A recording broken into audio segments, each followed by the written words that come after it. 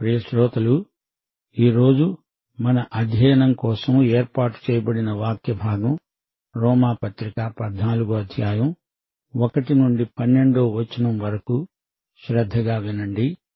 విశ్వాసము విషయములో బలహీనులైన వారిని సంఘం చేర్చుకోవాలి. వారిని బలపరచాలి ప్రోత్సహించాలి. సంశయాలను తీర్చండి గాని వాదములు పెట్టుకోవద్దు. ప్రతి సంఘ బిడ్డ ఆత్మ నిశ్చయత కలిగి తేట అయిన మనస్సాక్షి గలవాడై ఉండాలి. ఈ అధ్యాయం మొదలుకొని దేవుని బిడ్డల ప్రత్యేకత ఎలాంటిదో పౌలు చూపుతున్నాడు. ప్రత్యేకత అంటే ఏమిటనుకున్నారు? మేమేదో గొప్పవారమని గర్వంతో అతిశయంతో అందరికీ దూర దూరంగా ఉండడం కాదు. ఇతరులను చిన్నచూపు చూడడమూ కాదు. క్రైస్తవులు తామున్న దేశంలో ఉత్తమ పౌరులు ప్రభుత్వ శాసనాలను దేవుని బిడ్డలు పాటిస్తారు వాటికి తలవొగ్గుతారు. పన్నులు సక్రమంగా చెల్లించాలి. ఎవరికీ ఏదీ అచ్చి ఉండకూడదు. అధికారములో ఉన్నవారికి మర్యాద చూపాలి. పొరుగువారితో సరైన సంబంధాలు కలిగి ఉండాలి. వ్యభిచరించకూడదు. హత్యలు దొంగతనాలు చేయకూడదు. మాటల్లో చేతల్లో పవిత్రత పాటించాలి. అబద్ధ సాక్ష్యాలు పలకకూడదు. ఇతరుల ఆస్తిని ఆశించకూడదు. తనను తాను ప్రేమించుకుంటాడు గదా అలాగే తన పొరుగువాణ్ణి ప్రేమించాలి. ప్రభువు నిన్ను ప్రేమించిన అనుభవం నీకుందా? అలాగే నీవు నీ పొరుగువాణ్ణి ప్రేమించాలి. నిజాయితీ యథార్థత కలిగి జీవించాలి. తాగుడు జూదం జగడాలు మత్సరం మొదలైన వాటికి దేవుని బిడ్డలు దూరంగా ఉండాలి. పరిశుద్ధత వారి మాటల్లో చేతల్లో కానరావాలి. ఈ విషయంలో బైబిల్ ఖండితంగా తేటగా సూటిగా మాట్లాడుతోంది. దేవుని వాక్యం ఆయన మాటలు మనకు విశ్వాస ప్రమాణం. చుట్టబీడి సిగరెట్లు త్రాగడం స్త్రీ పురుషులు విచ్చలవిడిగా తిరగడం మొదలైన ధోరణులను ప్రభువు గర్హిస్తున్నాడు గద్దిస్తున్నాడు. మన ప్రవర్తనలో పరివర్తన రావాలి.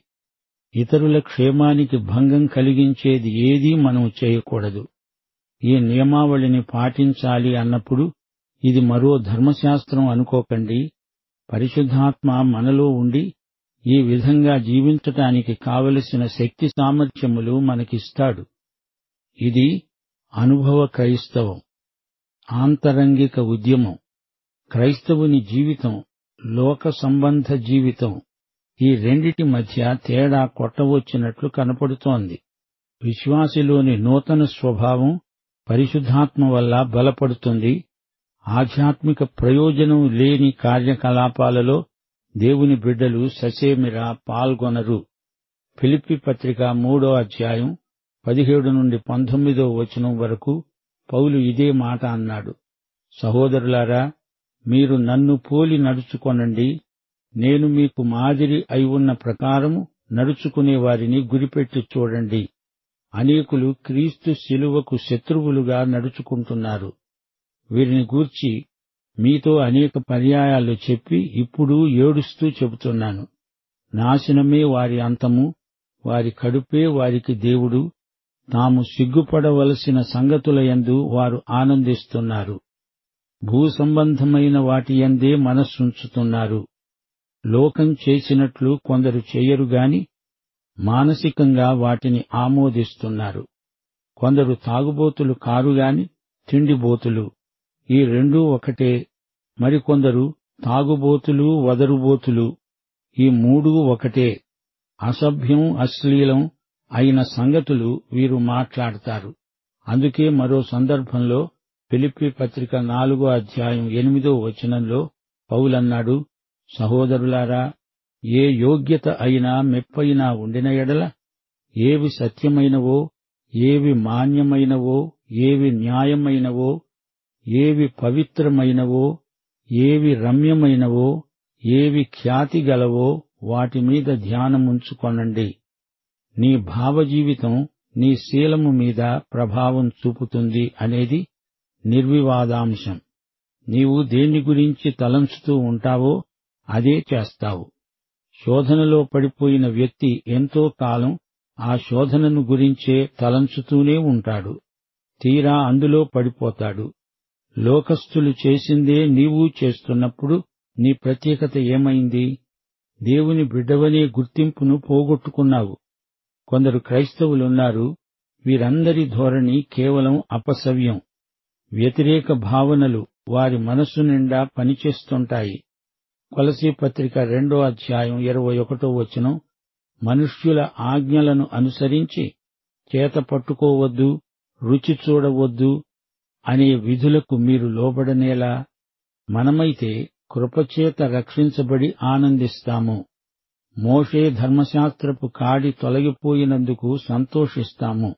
వ్యతిరేక వైఖరులు సరైనవి కావు. ఆ ధర్మశాస్త్రానికి బదులు మరొక ధర్మశాస్త్రం స్వంతగా కల్పించుకుంటారు. వారి అతిశయం చెప్పతరం కాదు. ఇలాంటి వారిని గురించే ఇక్కడ పౌలు విశ్వాసమందు బలహీనులు అంటున్నారు. విశ్వాసము విషయమై బలహీనులైన వారిని చేర్చుకొనండి. వారి సంశయాలు వివాదాలతో తీరేవి కావు. అనవసరంగా తర్జన భర్జనలకు దిగకండి. వ్యతిరేక భావనలతో కొందరు మానసికంగా తమను తామే చిత్రవధ చేసుకుంటారు. బలహీన విశ్వాసిని నీవు బలపరచాలి. అతన్ని ప్రేమించాలి. వివాదం పెట్టుకోకూడదు. ఇతరులు చేసేది తప్పా ఒప్పా అని కాకుండా నేను చేసినట్లు అతడు చెయ్యడు గనుక అది తప్పే అంటే అర్థం లేదు. బలహీనుడు అంటే సిద్ధాంత విషయంలో కాదు. వైఖరిలో ప్రవర్తనలో ఇతరులతోటి సంబంధాలలో బలహీనుడు. అతని మనస్సు చేదెక్కడం కాదు పులిపెక్కిపోయింది. అతనిది ఛాందసవాదం. వాక్యంలో కొన్ని సంగతులు మంచివని గాని చెడ్డవని గాని చెప్పబడి ఉండని ఎడల అలాంటి వాటిలో ప్రతి విశ్వాసికి స్వేచ్ఛ ఉంది. అందుచేత అవతలి వ్యక్తిని ప్రేమించాలి అది దేవుని ఆజ్ఞ. రెండో వచనం ఒకడు సమస్తము తినవచ్చును అని నమ్ముతున్నాడు మరొకడు బలహీనుడై ఉండి కూరగాయలనే తింటున్నాడు. మార్కుసు వార్త ఏడో అధ్యాయం పంతొమ్మిదో వచనం తినేది ఏదైనా వాని హృదయములో ప్రవేశింపక కడుపులోనే ప్రవేశించి బహిర్భూమిలో విడువబడుతుంది. ఇట్లు అది భోజన పదార్థములన్నిటినీ పవిత్రపరుస్తుంది. ఆదికాండం తొమ్మిదో అధ్యాయం మూడో వచనంలో ప్రాణము గల సమస్త చరములు మీకు ఆహారమవుతాయి. ఈ మాటలు దేవుడే అన్నాడు. నోవహు జలప్రళయం తరువాత దేవుడన్న మాటలివి. పచ్చని కూరమొక్కలనిచ్చినట్లు ప్రాణము గల సమస్త చరములను నీకు ఆహారంగా ఇస్తున్నాను అన్నాడు దేవుడు. ఎవరేది తిన్నా దేవుని కృప మనకు చాలు. తినేవాడు తిననివాణ్ణి తృణీకరించకూడదు. తిననివాడు తినేవానికి తీర్పు తీర్చకూడదు. ఏలయనగా దేవుడు అతణ్ణి చేర్చుకున్నాడు. తినేవాటి విషయంలోనే కాదు ఏ అలవాటైనా వాటి విషయంలో ఒకరికొకరు తీర్పు తీర్చకూడదు. నీ మనస్సాక్షిని బట్టి నీవు తింటావు తినవు. అది వాక్యంలో మంచిదని కాని చెడ్డదని కాని చెప్పబడలేదు కదా. అలాంటప్పుడు నీవు కొత్త ధర్మశాస్త్రాన్ని తెచ్చిపెడతావా? అది తప్పు. మాంసం తినాలంటే తిను లేకపోతే మానేయి. పరుని సేవకునికి తీర్పు తీర్చడానికి నీవెవరివి? అతడు నిలిచి ఉండడమైనా పడి ఉండడమైనా అతని సొంత యజమాని పనే. అతడు నిలుస్తాడు ప్రభువు అతణ్ణి నిలువబెట్టడానికి శక్తిమంతుడు. మరొకని సేవకునిపై నీకేమి అధికారముంటుంది? నీవు నా యజమానివా? నీకెందుకు నేను జవాబు చెప్పాలి అని అతడంటే అది నీకే అవమానమనిపిస్తుంది. అది నీ ఇల్లు కాదు అతడు నీ సేవకుడు కాడు. అలాంటప్పుడు నీవు అతణ్ణేదో అజమాయిషీ చేయబోతున్నావు అది యుక్తం కాదు అనే విమర్శకు నీవు గురి కావలసి వస్తుంది. ఒకడు ఒక దినము కంటే మరొక దినము మంచి దినము అని ఎంచుతున్నాడు. మరొకడు ప్రతి దినమును సమానముగా ఎంచుతున్నాడు. ప్రతివాడు తన మటుకు తానే తన మనస్సులో రూఢిపరుచుకోవాలి. భోజన విషయములో ఎవరికి వారే తమకేది కావాలో నిర్ణయించుకునే స్వేచ్ఛ ఉంది. అలాగే ఏ రోజు మంచిది అనే విషయం కూడా మరొకడు నీకు చెప్పాల్సిన పని లేదు. కొందరు ఆదివారం అంటారు మరికొందరేమో శనివారము అంటారు. రోజు ఎలాంటిది అని కాదు నీ విశ్వాసం ఏ స్థాయిలో ఉంది అనేది అసలైన ప్రశ్న. కొలసి పత్రిక రెండో అధ్యాయం పదహారో వచనంలో పౌలంటున్నాడు అన్నపానముల విషయములోనైనా పండుగ అమావాస్య విశ్రాంతి దినము అనే వాటి విషయములోనైనా మీకు తీర్పు తీర్చడానికి ఎవరికీ అవకాశమివ్వకండి. ఈ విషయాలలో నాకు తీర్పు తీర్చడానికి నువ్వెవరివి? యేసుక్రీస్తు నా యజమాని. ఆయన చెప్పాలి గాని నీవు నన్ను ఈ విషయంలో శాసించనక్కర్లేదు. నీవు ఏ పని చేసినా ఏ తీర్మానము తీసుకున్నా ఉత్సాహంతో నీ ప్రభువు మహిమార్థమై చెయ్యి. ఆ విషయంలో నిన్నెవరూ తప్పు పట్టకూడదు. అది నీకు నీ ప్రభువుకు మధ్య జరిగే వ్యవహారం. అంతే. నీ వ్యక్తిగత విషయంలో మరొకరి జోక్యం అనవసరం. ఒకసారి ప్రభువును అధికారులు నిర్బంధంలోకి తీసుకున్నారు. పేతురు దూరదూరంగా ప్రభువును వెంబడిస్తున్నాడు. ప్రధాన యాజకుని ఇంటి ముంగిట పేతురు ఉన్నాడు. పేతురు యేసు ప్రభువును నేను ఎరగను ఆయనెవరో నాకు తెలియదు అని మూడుసార్లు అబద్ధం చెప్పాడు. యోహాను అక్కడికి వెళ్ళాడు అదే స్థలంలో తాను ఉన్నాడు అక్కడ అందరూ యోహానుకు తెలిసిన వారే. పేతురు యేసును ఎరగను అనేశాడు గాని యోహాను అనలేదు. ఆ స్థలంలో ఉండడం పేతురుకు మంచిది కాదు యోహానుకు మంచిదే. అది వారున్న స్థలాన్ని బట్టి కాదు ఆ స్థలంలో ఉన్న మనిషిని బట్టి తేడా వచ్చింది. అది అసలు సంగతి. భోజనం కాదు రోజూ కాదు. మనిషిని బట్టి ఏది ఎవరికి మంచిదో ఆ వ్యక్తే రూఢిపరుచుకోవాలి.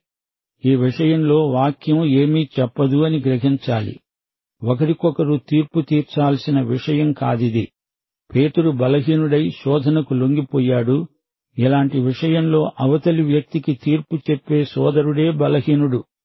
ఏది ఏమైనా ప్రభువుకు నీకు మధ్య సహవాసానికి అంతరాయం కలగకుండా చూసుకో అది నీ వ్యక్తిగత బాధ్యత.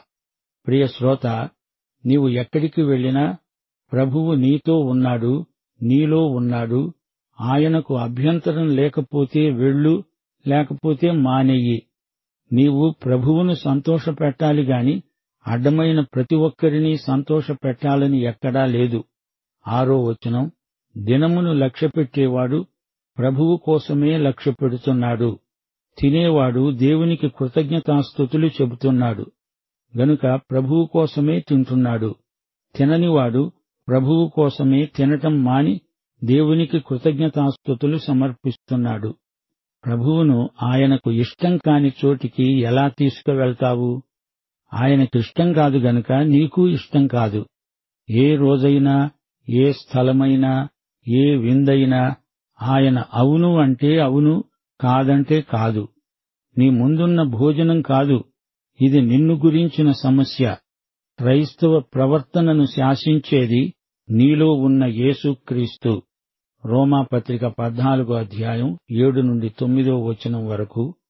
మనలో ఎవడూ తన కోసమే బ్రతకడు ఎవడూ తన కోసమే చనిపోడు.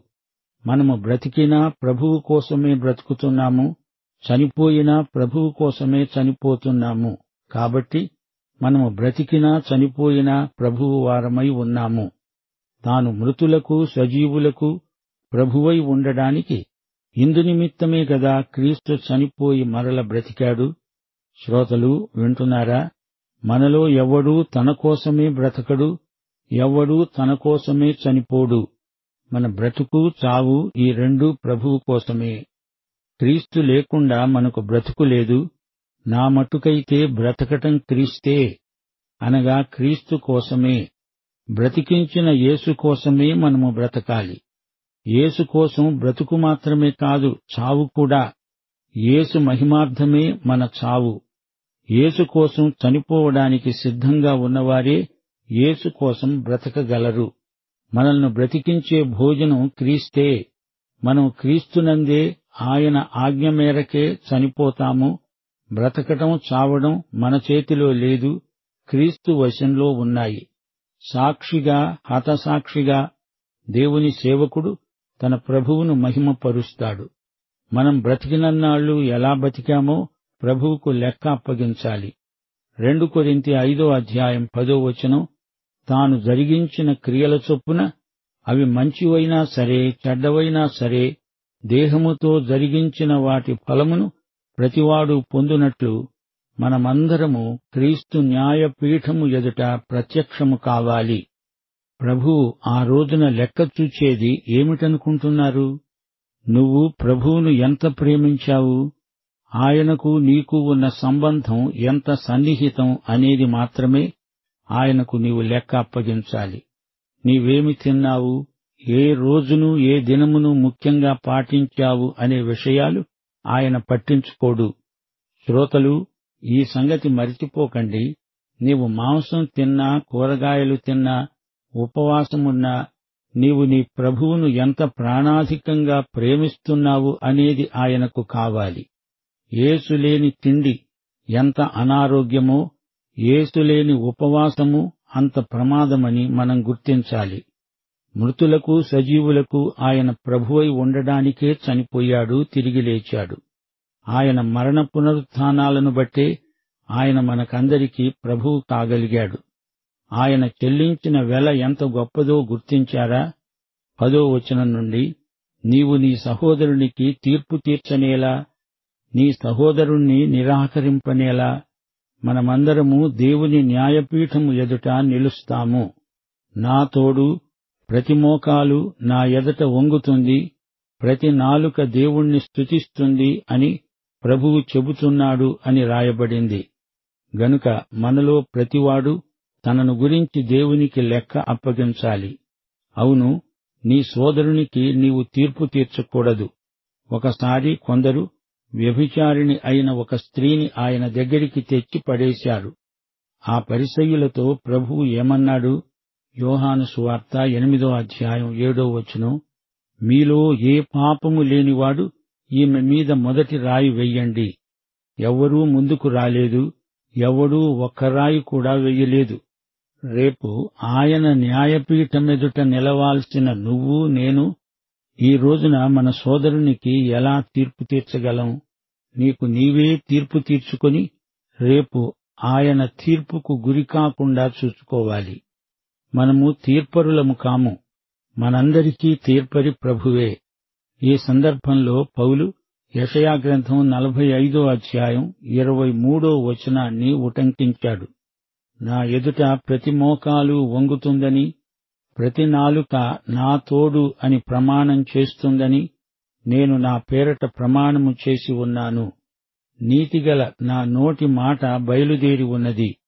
దేవుని న్యాయపీఠం ఉంది అనే భావన యూదులకు చిరపరిచితం అందరము ఒకే దేవుని ఎదుట ఒకే న్యాయపీఠము ముందు నిలిచేవారమైనప్పుడు ఒకరికొకరము తీర్పు తీర్చే హక్కు మనకెక్కడిది? ప్రతి ఒక్కడూ వ్యక్తిగతంగా న్యాయపీఠం ఎదుట ప్రభువు తీర్పు కోసం నిలవాల్సిందే. న్యాయపీఠం సివిల్ కోర్టు. ఇది విశ్వాసులకు మాత్రమే. అవిశ్వాసులకు ధవళ సింహాసనపు తీర్పు ఉంది. ప్రకటన గ్రంథం ఇరవయో అధ్యాయం పదకొండు నుండి పదిహేనో వచనం వరకు ఈ తీర్పు వివరించబడింది. ఎవరి పేరైనా జీవగ్రంథమందు రాయబడినట్లు కనబడని ఎడల వాడు అగ్నిగుండములో పడవేయబడతాడు. విశ్వాసులకైతే ధవళ సింహాసనపు తీర్పు ఉండదు. న్యాయపీఠం విశ్వాసులకు బహుమానాల తీర్పు. యేసు మన ఉత్తరవాది ఆయన మన పక్షాన ఉన్నాడు విశ్వాసులకు న్యాయం చేకూర్చేదే న్యాయపీఠం. ధవళ సింహాసనం క్రిమినల్ కోర్టు. యేసుక్రీస్తు నిన్ను నన్ను ఆవరించి ఉన్నాడు మన నీడ మనల్ని విడువదు.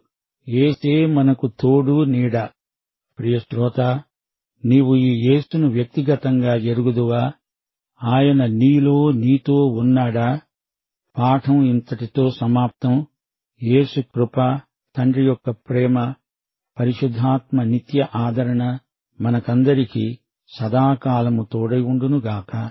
ఆమె